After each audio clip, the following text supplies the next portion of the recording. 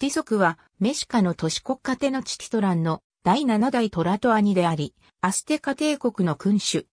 アステカの君主としての在位年数が、スペイン人の到来前では、最も短く、伝承では、暗君の代表のように伝えられるが、必ずしも実態を反映していない。規則とは、犠牲を捧げるものという意味だが、苦行を行うもの、血を流すものとも解釈される。アステカ文字では、通常傷ついた足によって示されるが、アガベあるいは骨が石を貫く文字でも示される。規則の少年は不明である。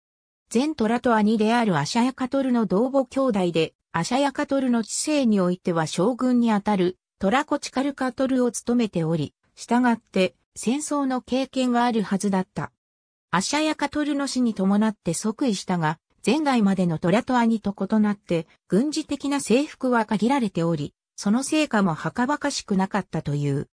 通常、新しいトラと兄は、即位式の犠牲に供するための捕虜を得るための戦いを行うが、伝承によれば規則は戦いにおいて40人の捕虜を得たが300人の戦士を失った。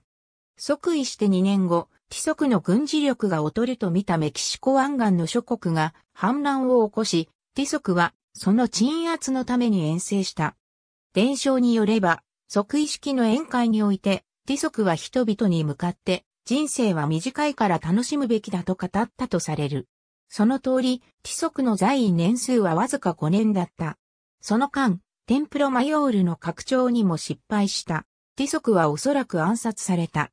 ティソクは軍人が高い関与を得ることによって権力を持つのを制御しようとし、最高の勲章を得るには武勇で知られるエショツイン語の兵士を捕虜にしなければならない、などの規則を設けた。これが貴族の恨みを買った可能性がある。ティソクの石、ティソクの石と呼ばれる円柱状の石碑は、ティソクが自らの軍事的な功績を誇るために作られた。この石碑には、ティソクが征服した多数の都市を描いている。